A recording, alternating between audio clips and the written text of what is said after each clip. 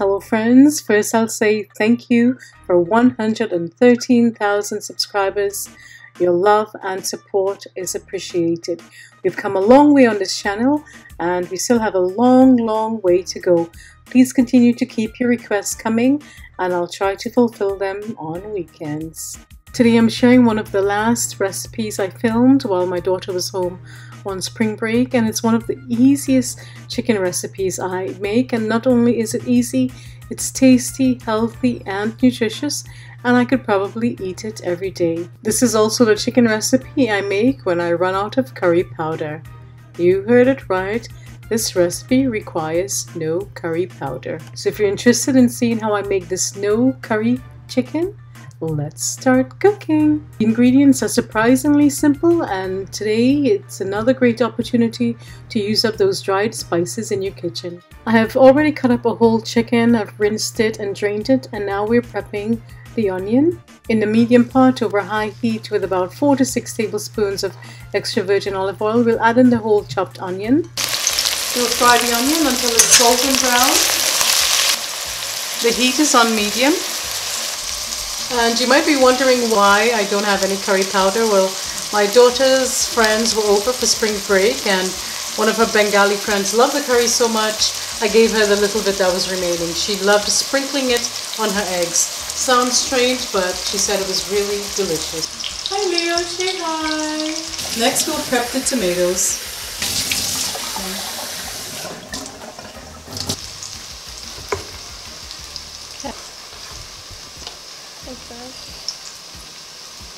Yeah. That's it? Yep. While the onions are browning, we have sufficient time to do the tomatoes as well as the celery, or scallions if you have, or even make green seasoning. But today we're keeping it simple and I'll just use cilantro. The goal here today is to show you that you could make a dish, a delicious dish, even if you don't have many ingredients or the main ingredients required for a curry. I'll add some hot pepper to the pot. So she has counted 20 cardamom, one cinnamon stick she has taken out of the bottle and we'll use about 10 cloves. Now I'll add in the spices. The, the onion is nice and brown, caramelized. The sweetness has been developed and now I'll add in the turmeric. I'll start with about one, let's say one and a half teaspoons. Now I'll add in the spices, the cinnamon, cardamom and cloves. Spice makes it nice. Give it a stir.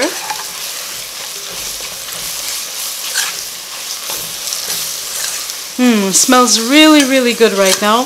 The turmeric smells amazing as well. Now I'll add in the chicken.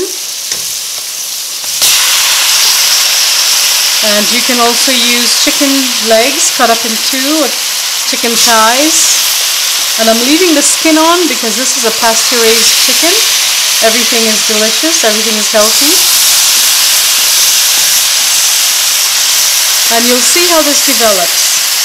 You might think that's not enough spices, but as we cook it, the turmeric will develop in color.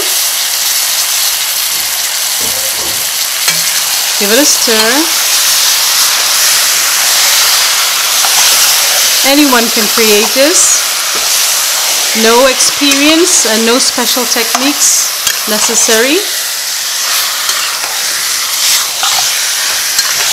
It already has a lovely yellow color.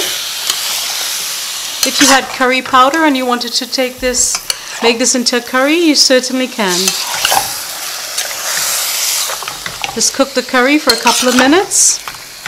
Add a little water, cook the curry until it's grainy and then you proceed uh, to add the chicken in. And we're doing this because we have no curry powder. I'm going to allow this to cook for a couple of minutes and then I'll add in the tomatoes. I have six cloves of garlic which I have roughly chopped and I'm going to add it to the pot along with the tomatoes. This is little over a pound of tomatoes, very ripe, delicious. The six cloves of garlic, varying sizes. So you add garlic according to your preference.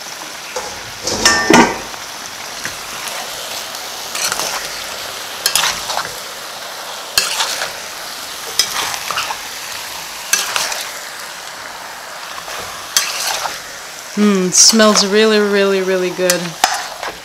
This is perfect for those of you who don't like curry. If you exist. Probably do. Let me know below in the comments.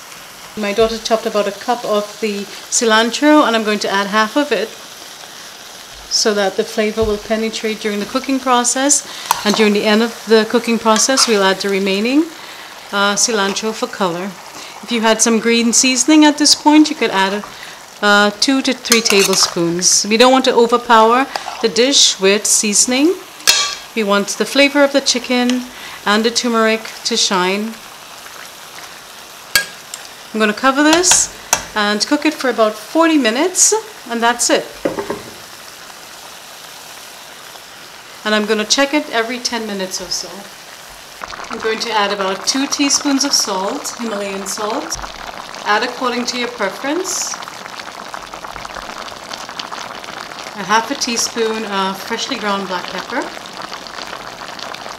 I'll stir it and cover it and allow it to continue to cook.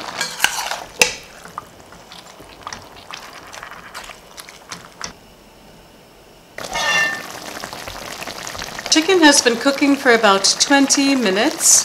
The delicious aroma is filling the house, enticing our appetite. We're all getting very hungry. Well, it's just my daughter and I. It's looking wonderful. It smells amazing. The tomatoes have broken down. I'm going to give it a taste for salt.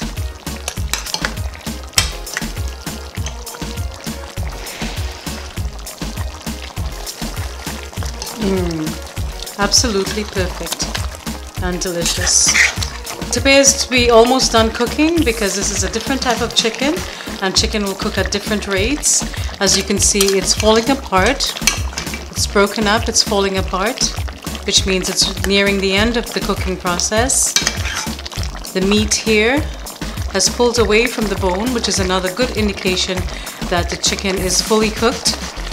I'm going to add, I'm going to add the cilantro finishing cilantro and cook it for about five to seven more minutes. And then it's done.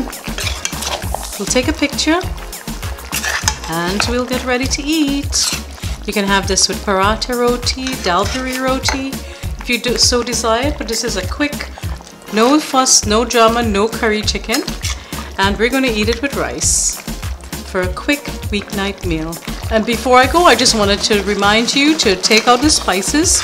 If you're serving it to children or your husband or anybody else for that matter, don't forget to take out those spices because it can be a, not a very pleasurable um, eating experience to bite into a cardamom, a cardamom or a clove.